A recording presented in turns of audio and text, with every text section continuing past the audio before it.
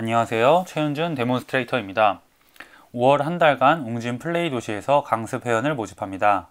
다음에 해당하시는 분들은 어서 연락 주시기 바랍니다. 최현준의 스키 스킬 유튜브 채널을 보고 제 skiing에 관심 있으신 분, 자신의 체형에 맞게 스키 자세를 교정하고 싶으신 분, 키가 커서 스키 자세가 잘 안 나오시는 분, 기초에 대한 정리가 필요하신 분, short turn을 잘 타고 싶으신 분, 모글을 배워보고 싶으신 분, 지나간 겨울 아쉬움이 남으셨던 분들 모두 환영합니다.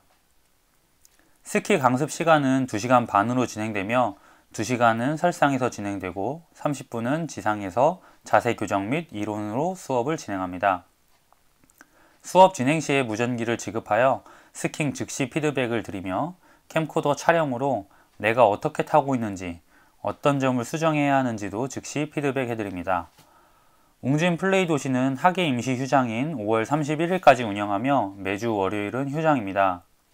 남은 5월 한 달간 웅진 플레이 도시에서 스키 실력을 업그레이드하고 싶으신 분들은 지금 즉시 연락 주시기 바랍니다.